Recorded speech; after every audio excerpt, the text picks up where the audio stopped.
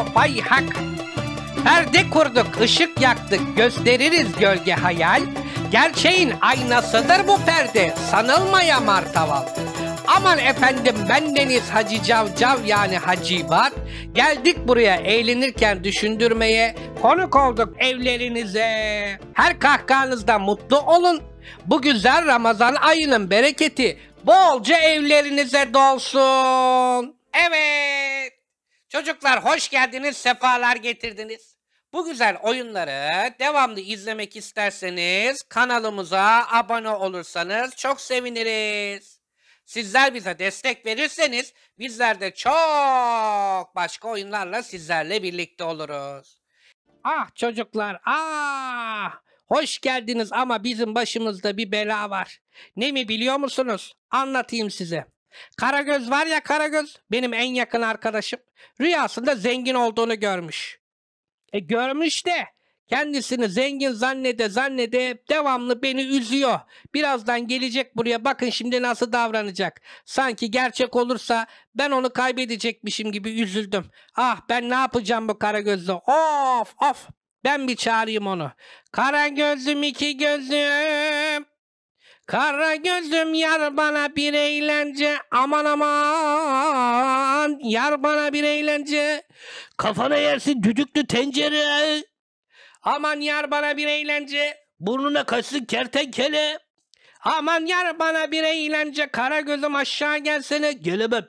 Artık hiçbir şekilde seninle muhatap olmam. Niye yahu? Sorma. Ya sordum işte. Ben artık çok zenginim. Yahu be adam Zengin olabilirsin. Ama neden beni bir anda siliveriyorsun? Ya ne demek ya? Ben o kadar zengin bir adamım. Uçaklarım var. Evlerim var. Seninle muhatap mı olacağım Allah Allah ya? İşte gördünüz çocuklar. Ona bir ders vermemiz lazım. Zengin olduğunu zannedip bir anda en yakın arkadaşını sildi. Ben de üzülüyorum neler yapacağımı bilmiyorum. Ah şimdi aklıma bir fikir geldi. En iyisi ben de zengin olmuşum gibi davranayım, ona bir ders vereyim. Hem de gerçek zenginmiş gibi. Bakalım ne olacak? O rüyasında görmüş, ben de gerçekte varmış gibi ufak bir yalan söyleyeceğim. Bakalım dersini alabilecek mi? Karagöz, Karagöz, Karagöz, Karagöz, Karagöz, Karagöz, Karagöz. Ne var be? Ne bağırıyorsun? Allah Allah. İşim gücüm var. Paralarımı sayacağım. Bir saniye. Arabaya gidiyordum. Arabaya, arabaya. ben var ya çok zenginim. He, bankaya gideceğim şimdi. Sonra gideceğim. Ada alacağım bir tane. Adada böyle çoluk çocuk yaşayacağım. Karagöz'üm sana bir haberim var. Sana bir haberim var. Ne oldu be? Ne var? Ne? Ne var? Karagöz'üm. Hani geçen gün. Evet. Bir tane dayım var diyordum ya. Evet evet. Hani çok zengindi. Evet evet. Kendisi hakkı rahmetine kavuştu. Bütün mirasını bana bıraktı. Ne? Ya ama ne olacak ya benim paralarım yanında? Ne demek ne olacak? Bir sürü yatı var, bir sürü katı var. Hı, ne olmuş yahu? Bir sürü uçağı var, bir sürü parası var. Allah Allah. Ya sorma sorma daha neler var neler bir sürü dükkanı var. Ee, Allah Allah ya. Ya sorma sorma ben artık çok zenginim. Dur aşağı geliyorum sen zenginsen artık aynı yerde buluşabiliriz. Hop geldim. Karagöz'üm efendim ben artık çok zenginim. Evet ben de zenginim. Ama benim bir sürü param var. Bankaya gideceğim bir sürü para alacağım. Ee, ne olmuş bende de var. Ama benimki gerçek. Ee? Ya sen rüyanda gördün ama benim gerçek oldu biliyor musun? Artık seninle muhatap olmam. Bir saniye ya. Bir saniye canım arkadaşım. Senin gerçekten şimdi paran mı var? Evet. Allah Allah çok güzelmiş de ben senin yakın arkadaşın değil miyim? Arkadaşım değilsin maalesef. Artık ben zengin olduğum için bu mahalleden taşınacağım. Hı? Muhallebiden taşınacağım mı? Ya ne muhallebisi be adam? Mahalleden mahalleden taşınacağım. Ee, şey e, olsun ben senin yanına gelirim e, birlikte otururuz. Olmaz. Hı? Niye olmasın yahu? Ee, benim gibi bir insana, soylu bir insana artık senin gibi bir arkadaş yakışmaz. Ne demek yakışmaz? Ya kusura bakma seninle artık muhatap olamam. Ya lütfen, lütfen gerçekten muhatap olabilir miyiz? Lütfen muhatap olalım. Ya muhatap oluruz. Muhatap olmasına da arada sırada gelirsin. Şöyle bir senin sıfatına bakarım, ayağına bakarım, kafana bakarım. Derim ki ya bu çok fakir. Ben bununla muhatap olmam.